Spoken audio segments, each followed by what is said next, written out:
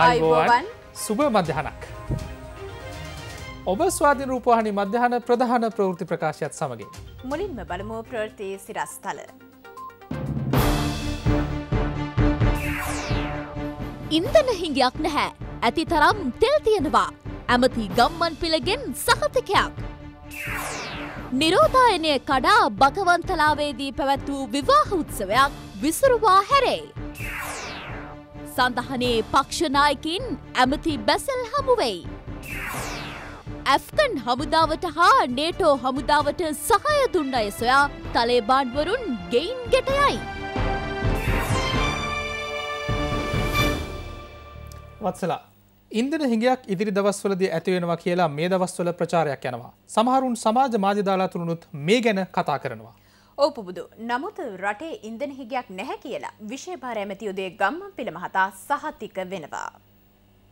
ඉදිරි දින කිහිපේදී රටපුරා ඉන්දන හිඟයක් ඇතිවිය හැකි බවට ඇතැමුන් ප්‍රචාරගෙන යනවා. ඇතැම් වෘතිය සමිති නායකයන්ද මෙවැනි අදහස් පල කර තිබුණා. කෙසේ වුවද මේ සම්බන්ධයෙන් අප කළ විමසීමකදී විශේභාර අමාත්‍ය උදේ ගම්මන් පිළ මහතා කියා සිටියේ අවශ්‍ය තරම් ඉන්දන තොග රට තුළ පවතින බවයි. ලංකා කංජතෙල් නීතිගත සංස්ථාවත් එල්ලයුසිය ආයතනයේ අපට මේ වන විට දවස් විසි දෙකකට ප්‍රමාණවත් ඩීසල් තොගසා දින දාටකට ප්‍රමාණවත් පෙට්‍රල් තොග පවතිනවා. සාමාන්‍ය අපි පවත්වන ප්‍රශ්න මට්ටමක තමයි කජතෙල් තොග තියෙන්නේ. මොකද මේ සතියේ තව පෙට්‍රල් නැවක් පැමිණෙනවා. ඊළඟ සතියේ ඩීසල් නැවක් පැමිණීමට නියමිතයි. නිසා ශ්‍රී ලංකාවේ කජතෙල් හිගයක් නැතුවා වගේම කජතෙල් හිගයක් ඇතිවීමටත් අපි ඉඩ තබලා නැහැ කජතෙල් හිගයක් ඇති වෙනවා නම් අපි තෙල් මිල වැඩි කරන බව කලින් කිව්වා වගේම විදේශ විනිමය අර්බුදයක් තිබෙනවා කියලා රටට මුලින්ම හෙළි කරා වගේම කජතෙල් හිගයක් ඇති වෙනවා නම් වෙන අය කියන්න කලින් අපි ඒක රට ඉදිරියට ඇවිත් ප්‍රකාශ කරනවා කියන එක අපි ජනතාවට දැනුම් දෙනවා. ඒ නිසා මෙවැනි විශ්‍රාමික කම්කරුවන් විසින් ප්‍රකාශයට පත් කරන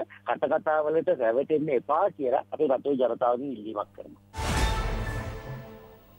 සෞඛ්‍ය සේවකයින්ට කොරුණා එන්නතේ තුන්වන මාත්‍රාව ලබාදීම සම්බන්ධයෙන් අවධානය යොමු වී තිබෙනවා. ඒ සෞඛ්‍ය සේවකයින් මුහුණ දී සිටින දැඩි අවදානම් තත්ත්වය හේතුවෙන්. මේ අතර ඊයේ දිනේත අපේ රටෙන් කොරෝනාවට ගොදුරුණු තුන්දහස් අටසිය හය දෙනෙක් හමු වුණා.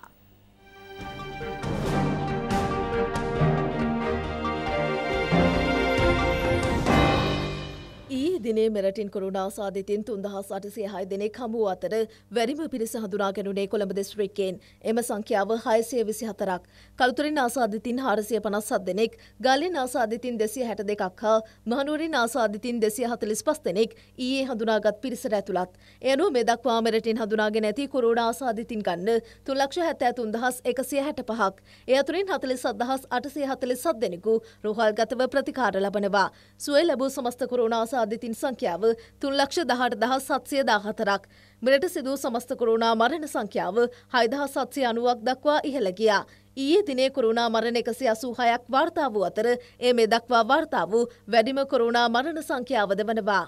සෞඛ්‍ය සේවකින්ට කොරුණා එන්නතේ තුන්වන මාත්‍රාව ලබාදීම සම්බන්ධයෙන් නියෝජ්‍ය සෞඛ්‍ය සේවා අධ්‍යක්ෂ රාල් විශේෂඥ වෛද්‍ය හේමන්ත හේරත් මහතා මෙසේ අදහස් පළ කළා. බැලූ බැල්මට අපිට කියන්න බෑ පළවෙනි මාත්‍රාවයි දෙවන මාත්‍රාවයි අතර පරතරය කොච්චර විය යුතුද දෙවන මාත්‍රාව සහ තුන්වන මාත්‍රාව අතර පරතරය කොච්චරද විය යුත්තේ මේවා පිළිබඳව නිර්දේශ විශේෂඥයෝ ලබා දුන්නාම ඒක අනුව තමයි අපි කටයුතු කරන්න පුළුවන් වෙන්නේ. ඒක සමාලෝචනය වීම නොකඩවා කරගෙන යනවා. එක මොහොතක අපිට තීරණයකට එන්න පුළුවන් වුණොත් දැන් අපිට පැහැදිලි මේක තුන්වෙනි මාත්‍රාව මෙන්න මේ අවස්ථාවේ ලබා දීම තමයි වඩාත් යෝග්‍ය කියලා. ඒ අවස්ථාවේදී ඒ තුන්වෙනි මාත්‍රාව ලබා දීම ගැටලුවක් වෙන්නේ නැහැ. විද්වතුන් නිර්දේශ කරනවා නම් අපි ඒක කළ යුතුයි. මේ නිර්දේශ කිරීම ඒ අදාළ විෂය සම්බන්ධයෙන් ඉන්න විද්වතුන් විසින් නිර්දේශ කළ යුතුයි නැතුව අර වෙනත් අය විසින් කරන දේ අපිට නෙවෙයි අපිට වැදගත් වෙන්නේ. මේ අතර රිච්වයාරයා ළමාරෝහලේ වත්මන් තත්ත්වය සම්බන්ධයෙන්ද එහි අධ්‍යක්ෂ වෛද්‍යජී විජයසූරිය මහතා මෙසේ කරුණු පැහැදිලි කළා.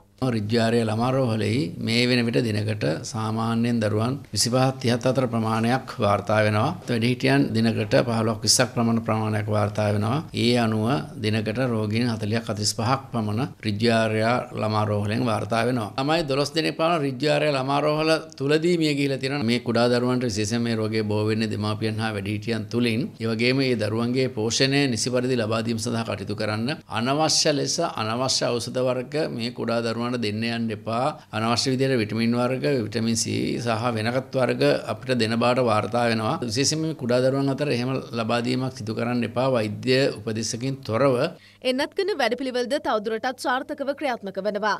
වෙරහර ශ්‍රී ලංකා යුද හමුදා පළමුවන වෛද්‍ය බලකා මූලස්ථානයේදී සයිනෆෝම් එන්නතේ දෙවන මාත්‍රාව ලබා තිබ අද දවස පුරා සිදුවනවා. බාධාවකින් තොරව එන්නත් ලබා ගැනීමට පහසුකම් සලසා ඇති බව අනද නිර්ධාරී කර්නල් දේශන් දිසානායක මහතා ප්‍රකාශ කළා. යුද හමුදාව මෙහෙවීමෙන් විහාර මහාදේවී උද්‍යාන පරිශ්‍රයේදී එන්නත් කරන වැඩපිළිවෙල අදරාත්‍රී දහය දක්වා ක්‍රියාත්මකයි. වයස අවුරුදු තිහට වැඩි පුද්ගලයින්ට මෙම පරිශ්‍රයට පැමිණ එන්නත් ලබාගත හැකි. පිළියන්දල වෙළඳ සංකමය කළ ඉල්ලීමකට අනුව ජනාධිපති සම්බන්ධය කන ලේකම් සුගේශ්වර බණ්ඩාර මහතාගේ මෙහෙවීම මත පිළියන්දල නගරයේ සම්පූර්ණයම විශබීජහන්නේ සිදු කෙරුණා. අත්වල සංවිධානය ඊට සහය ලබා දුන් අතර ජනතා සුභසිද්ධිය වෙනුවෙන් මේ ක්‍රියාවට නැන්නූ බව පිළියන්දල වෙළඳ සංකමය පවසනවා. ඊයේ දින වන විට කොවිශල්් එන්නතේ පළමු මාත්‍රාව ලබාගෙන සිටි පුද්ගලින් කණ්ඩ ධාතුන් ලක්ෂ දාහත් දහස් හාරසිය පනස් හයක් අට ලක්ෂ හැත්තෑ හතර දහස් සත්සය හතලි සත් දෙනෙකුට එහි දෙවන මාත්‍රාව ලබාගෙන තිබෙනවා. සයිනෆෝම් එන්නතේ පළුම් මාත්‍රාව පුද්ගලින් අනුපල් ලක්ෂ පනස් එක්දහස් සාරසිය හතලිස් හය දෙනෙකුට හා දෙවන මාත්‍රාව හතලිස් දෙලක්ෂ අසු එක්දහස් එකසිය හැත්තෑ හත් දෙනෙකුට ලබාදීමටයි පියවරගෙන ඇත්තේ.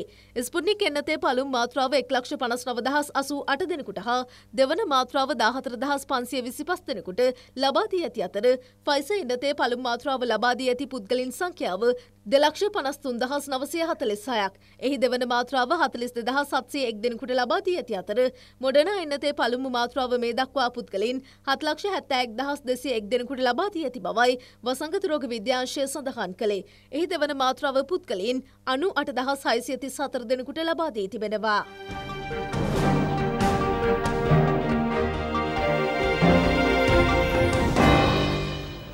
පවතින කොරෝනා ව්‍යාප්තියත් එක්ක විවාහ උත්සව පවත්වන්න තහනම් කරලා තියෙනවා. නමුත් මේ තහනම ගැන සැලකිල්ලකින් තොරව සිය දෙනෙකුගේ විතර සහභාගිත්වයෙන් විවාහ මංගල උත්සවයක් භගවන්තලාව ප්‍රදේශයේදී පැවැත්වුණා. නිරෝධායන ඇදිරි නීතිය කඩ කරන පුද්ගලින් අතරංගුවට ගන්න අධිවේගී මාර්ගවලද මේ වෙනකොට මෙහෙයුම් ක්‍රියාත්මක කෙරෙනවා. කොරුණා ව්‍යාප්තියත් සමග නිරෝධායන නීති ක්‍රියාත්මක කරමින් ජනතාව ඒකරාශීවීම අවම කරන්න රජය පියවර ගත්තා. මේ නිසාම විවාහ වෙන්න අවස්ථාව ලබා දුන්නද එවෙනුවෙන් උත්සව පවත්වන එක රජය තහනම් කළා. මෙවැනි තත්ත්වයක් යටතේ සිය දෙනෙකුට ආසන්න පිරිසකගේ සහභාගීත්වයෙන් විවාහ මංගල උත්සවයක් භගවන්තලාව ආරියපුර ප්‍රදේශයේ උත්සව ශාලාවකදී පැවැත්වුණා. විවාහ මංගල්‍යයක් ලියාපදිංචි කිරීම සඳහා භගවන්තලාව සෞඛ්‍ය වෛද්‍ය නිලධාරී කාර්යාලයේ අනුමැතිය ලබාගෙන තිබුණද මෙසේ විශාල පිරිසක් සහභාගී කරවා ගැනීම හේතුවෙන් එම උත්සවය නතර කිරීමට පොලිසිය සහ මහජන සෞඛ්‍ය පරීක්ෂකවරුන් ක්‍රියා කළා. රාත්‍රී දහයින් පසු සංචරණ සීමා පනවමින් අත්‍යවශ්‍ය සේවාවන් හැර අනෙකුත් පුද්ගලින් සඳහා ගමනාගමනය තහනම් කර තිබෙනවා. ඒ අනුව දක්ෂිණ අධිවේගී මාර්ගයේ ගමන් ගන්නා රථවාහන අත්අඩංගුවට ගැනීමේ මෙහෙයුමක් හම්බන්තොට පිවිසුම ආසන්නයේදී ක්‍රියාත්මක කෙරුණා. හම්බන්තොට පොලිසියේ රථවාහන අංශය මෙම මෙහෙයුම අකණ්ඩව ක්‍රියාත්මක කරනවා. මෙම මස පළමුවනදා සිට ලබන මස තිස්වනදා දක්වා කාලය තුළ අවලංගුවීමට නියමිතව තිබූ කනිෂ කැනීම් හා වෙළඳම සඳහා නිකුත් කර ඇති බලපත්‍රවල වලංගු කාලය ලබන මස තිස්වනදා දක්වා දීර්ඝ කර තිබෙනවා. කොරෝනා ව්‍යාප්තියත් සමග සංචරණ සීමා හේතුවෙන් බලපත්‍ර නිකුත් කිරීම ප්‍රමාද වී තිබෙනවා. සංවර්ධන ව්‍යාපෘති සඳහා කනිජාශ්‍රිත නිෂ්පාදන කර්මාන්තයට අවශ්‍ය කෙරෙන අමුද්‍රව්‍ය ලබා ගැනීම අසිරුවීමේ තත්ත්වයක් උද්ගත විය හැකි බැවින් මෙම තීරණය ගත් බවයි භූවිද්‍යා සමීක්ෂණ හා පතල් කාර්යාංශය සඳහන් කරන්නේ. වැලිමඩ නගරේ වෙළඳ සැල් සතියක කාලයකට වස දැමීමට වෙළඳ සංගමය තීරණය කර තිබෙනවා. පෞද්ගලික බස්රොත්ත දහවනේද අත්‍යවශ්‍ය සේවා සඳහා පමණක් ක්‍රියාත්මක වනවා. කහවත්ත වෙළඳ සංගමේද කහවත්ත නගරයේ සියලු වෙළඳ සැල් අද සිට ලබන තිස්වනදා දක්වා වස දැමීමට පියවර ගත්තා. ඖෂධ අලවි සැල් පමණක් විවෘතව පවතිනවා. කඹුරුපිටිය නගරයේ වෙළඳ සැල් අද සිට දින පහක කාලයක් සඳහා වස දැමීමට තීරණය කර තිබෙනවා. ඒ වෙළඳ සංගමය කඹුරුපිටිය ප්‍රාදේශීය සභාව සහ සෞඛ්‍ය වෛද්‍ය නිලධාරී කාර්යාලයේ එක්ව පැවති සාකච්ඡාවකින් අනතුරුවයි. මහජන එක්සත් පෙරමුණ ජාතික නිදහස් පෙරමුණ හා ප්‍රජාතන්ත්‍රවාදී වාමාංශික පෙරමුණු නායකයින් අමාත්‍ය බැසිල් රාජපක්ෂ මහතා හමුවනා. අමාත්‍ය දිනේශ් ගුණවර්ධන මහතාගේ නායකත්වයෙන් යුත් මහජන එක්සත් පෙරමුණේ නියෝජිතින් හා බැසිල් රාජපක්ෂ මහතා අතර සාකච්ඡා පැවැත්වුණා. ඉදිරි අයවැය යෝජනා පිළිබඳ මෙහිදී සාකච්ඡා කෙරුණා. රාජ්‍ය මාත්‍ය සිසිර ජයකොඩි හා පාර්ලිමේන්තු මන්ත්‍රී අදාමනී ගුණවර්ධන යන මහත්තුරුන්ද ඊට එක්ව සිටියා. ජාතික නිදහස් පෙරමුණේ නායක අමාත්‍ය විමල් වීරවංශ මහතා ඇතුළු එම පක්ෂයේ පාර්ලිමේන්තු කණ්ඩායමද බැසිල් රාජපක්ෂ මහතා හමු වී සාකච්ඡා පැවැත්වුවා. මේ අතර ප්‍රජාතන්ත්‍රවාදී වාමාංශික පෙරමුණේ නායක අමාත්‍ය වාසුදේව නානක්කර මහතා හා එහි පාර්ලිමේන්තු කණ්ඩායම අමාත්‍ය බැසි රාජපක්ෂ මහතා හමු වී අයවැය යෝජනා සම්බන්ධයෙන් සාකච්ඡා කළා.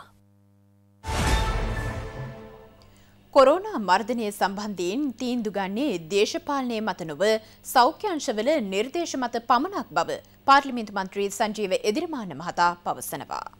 අලුතින් ඉදිකළ කළුතර ආයුර්වේද රෝහලේ නිරීක්ෂණ චාරිකාවකට එක්වෙමින් ඒ මහතා මේ බව ප්‍රකාශ කළා. රුපියල් මිලියන 100ක් වැය කරමින් මෙම රෝහල ඉදිකර තිබෙනවා. රෝහලට අවශ්‍ය අනෙකුත් පහසුකම් සහ උපකරණ ලබා ගැනීම සඳහා තවත් රුපියල් මිලියන 10ක මුදලක් මේ සඳහා වැය කෙරෙනවා. රාජ්‍ය අමාත්‍ය සිසිර ජයකොඩි, පාර්ලිමේන්තු මන්ත්‍රී අනුප පස්කුවල යන මහතුරුන් ඇතුළු පිරිසක් මෙම අවස්ථාවට සහභාගී වුණා. ආයුර්වේද රෝහල් 12ක් දැන්ට ආරම්භ කරලා තියෙනවා. රෝගීන් 4200ට වැඩි පිරිසක් ඇතුළත් කරලා 3800කටත් වැඩි පිරිසක් සුවය ලබලා ගිහිල්ලා තියෙනවා. මේ රෝගීන් ඊටාම යහපත් තත්ත්වයේ සංකුලතාවයන් අඩුයි.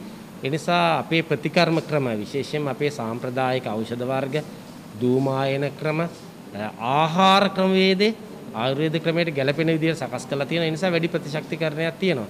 ඉතින් මම අපි විශ්වාස කරනවා ශේෂ ජයග්‍රහණයක් ආයුර්ද ශේෂ්ත්‍රයේ ඉදිරිපත් වීම නිසා මේ රෝග වසංගත තත්ත්වයෙන් දුරු කරන්න අපේ රටේ ජනතාව මුදා ගන්න විශාල සහාය ලැබෙනවා කියලා. එක්තරා මට්ටමක වසා තැබීමක තමයි අපි දැනටත් ජීවත් වෙන්නේ. උදාහරණයකට ගත්තොත් අධ්‍යාපනය කියන සමස්ත ශේෂ්ත්‍රයම වහලා තියෙනවා. මම එක උදාහරණයක් කිව්වේ. දැන් ඒ වගේ විවිධ වසා තැබීම් ඇතුළේ තවදුරටත් යම් යම් සංචරණ තත්ත්වයන් සිද්ධ වෙනවා. ඒ සියල්ලද පරිපූර්ණ වශයෙන් නවතා තැබිය යුතු බවට අදහසක් තියෙනවා. සමහර විටක එවැනි නිගමනයකට සෞඛ්‍යංශ විසින් අවසන් මොහොතේ ලැබෙන්නත් ඉඩ තියෙනවා. කොවිඩ් මර්ධනය සම්බන්ධව කිසිදු තීරණයක් දේශපාලනික නැහැ. ඒ කියන්නේ ආණ්ඩුවට උවමනා නිසා ගත්ත දේශපාලන තීන්දුවත් නැහැ. විපක්ෂයට බය ගත්ත දේශපාලන තීන්දුවත් නැහැ. රට වහනවයි කියන එක ලේසි දෙයක් නෙමෙයි. අපි පහුගිය කාලවකවානුව තුල දැක්ක රට පුරාම උද්ඝෝෂණ. උද්ඝෝෂණ හැදුවේ මේ විරුද්ධ පක්ෂවලින් සමගි ජන බලවේගයෙන් ජනතා යුක්ති පෙරමුණෙන් පෙට්ටුගාමි පක්ෂයෙන් රට පුරාම උද්ඝෝෂණ ඇති කළා රට පුරාම කොවිඩ් පැතිරෙන්න සැලැස්සුවා. ඒ අවස්ථාවේදී ওই සියලුම බලවේග වගකීමෙන් යුක්තව කටයුතු කරේ නැහැ. බෝ නොවන රෝග සඳහා නිසි ප්‍රතිකාර නොගැනීමෙන් බොහෝ දෙනෙකුට රෝහල් ගතවීමට සිදුවන බව විශේෂඥ වෛද්‍ය ගීතාල් පෙරේරා මහතා පවසනවා. ඒ හේතුවෙන් රෝහල් ධාරිතාවය කළමනාකරණය අපහසු වී ඇති බවයි ස්වාධීන රූපවාහිනියේ හත්වෙනි පැය වැඩසටහනට එක්වෙමින් ඒ මහතා ප්‍රකාශ කළේ. බෝ නොවන රෝගවලින් ඇතුල් වෙන වැඩි පිරිසක් තමුන්ගේ අසනීපවලට නිසියාකාරයෙන් ප්‍රතිකාර නොගැනීම නිසා. ස්වසන රෝගවල දැන් ඇදුම නිසා රෝහල් වේ ගත වෙන ලෙඩ්ඩුන්ගෙන් අති විශාල ප්‍රමාණයක් ওই කට්ටිය ඉන්හෙලර් එක.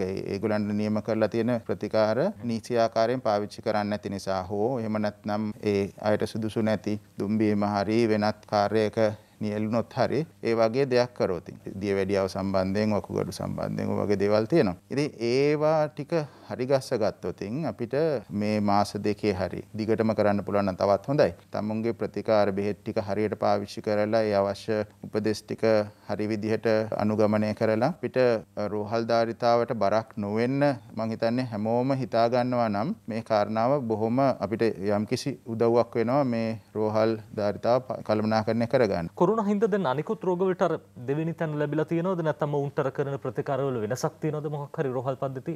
නෑ එහෙම ප්‍රතිපත්තිමය වශයෙන් අපි කිසිම රෝගියෙක්ව වෙනස් කරන්නේ නෑ. හෘද වස්තු යසනීප පපුව රිදෙනවා නම් කෙනෙක්ගෙන් අපි කියන්නේ නෑ. ගෙදරට වෙලා ඉන්න මෙතන අපිට කොරෝනා පාලනය කරන්න තියෙනවා නෑ. කරුණාකරලා එන්න. හුස්ම ගන්න අමාරු නම් හති නම් එන්න. ඒ ප්‍රතිකාර සිද්ධ වෙනවා. මම හිතන්නේ මේ රටේ ජනතාව රෝහල් වලට යනවා. ඒ අර ආරක්ෂක විධිවිධාන ඒ ක්‍රම පාවිච්චි කරන්න ඕන. අනිත් රෝගීන්ගේ ඔබේ කාර්ය මණ්ඩලයේ ආරක්ෂාව සඳහා මොකද මේ කාර්ය මණ්ඩලයේ ආසාදනය වුණොත් කොරෝනා රෝගයෙන් ඊට පස්සේ අපිට ඒ සමාජිකයා මාසයකට විතර නැවත සේවයට කැඳවන්න අමාරු වෙනවා.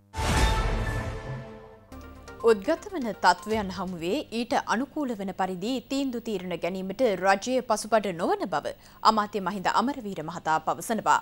රට වසා දැමීම සිදු කරන්නේ නම් එහිදී කරුණු කිහිපයක් ගැන දැඩි අවධානයක් යොමු කළ යුතු බවයි අමාත්‍යවරයා පෙන්වා දෙන්නේ.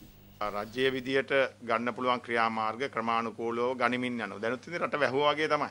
වාහන අඩුයි, කඩවල් අඩුයි, දැන් මිනිස්සු අඩුයි. ස්වයං වාරණය ඉතාමත් වැදගත්. يعني ඇඳිරි නීතිය කියන එක පැනෙව්වේ නැති වුණාට එක පැත්තකින් ලොක්ඩවුන් කරා වගේ තමයි. දැන් ආණ්ඩුවත් මේ පිළිබඳව දිගට සාකච්ඡා කරන මේක නොකර ඉන්නවම කියන මතේ නැහැ. රජය කල්පනා කරන එක දෙයක් තියෙනවා. ඒ තමයි දැන් කිමු රාජ්‍ය සේවකයන්ට වැටුප් ලැබෙනවා. ඒක ප්‍රශ්නයක් නෑ. වැහුවත් ඇරියත් ඒ ටික ලැබෙනවා. නමුත් අනිත් ඉන්නවා විශාල ප්‍රමාණයක් සයන් රැකියා කරන අය විවිධ ක්‍රමවලින් ජීවත් වෙන අය ඉන්න පෞද්ගලිකාංශේ ඒ අයට පඩි නැති වෙනවා. ජීවත් වෙන්න විදියක් නැති වෙනවා. අන්නේ ජනතාවට කොහොමද කටයුතු කරන්න එක කියන එක පිළිබඳවත් අවධානය යොමු කරන. ඒ නිසා තමයි යම් ප්‍රමාදයක් ඇති වෙලා තියෙනවා නම් තියෙන්නේ. නමුත් ඉදිරියේදී අවශ්‍ය වුණොත් ඒ තීන්දුවුණත් ගන්න වෙනවා. ඔය කියන කට්ටියම ඊළඟට ඉතින් අපිට කන්න නැහැ, බොන්න නැහැ එහෙම කියලාත් කියනවා. ඒකත් අමතක කරන්න එපා. වැහුවත් ප්‍රශ්නයක් එනවා.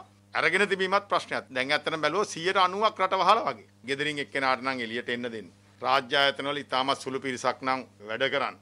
අත්‍යවශ්‍ය කටයුතු පමණක් නම් සිද්ධ වෙන්නේ. සංචරණයේ සීමා පවත්වගෙන යනවනම් ඇඳිරි නීතියකුත් රාත්‍රී පවත්වගෙන යනවා. දැන් ඇත්තටම සැලකිය යුතු මට්ටමක වෙහිමක් කරලා තියෙනවා. ඒත් සමගින් ස්වාධීන රූපවාහිනී මධ්‍යහන ප්‍රධාන ප්‍රවෘත්ති ප්‍රකාශය මෙතකින් නිමාවට පත් වෙනවා. පසුර එකයි පනස් පහේ සිට අපගේ පෑම් පැපුවත් විකාශය බලාපොරොත්තු වන්න ඔබට සුබ දවසක්.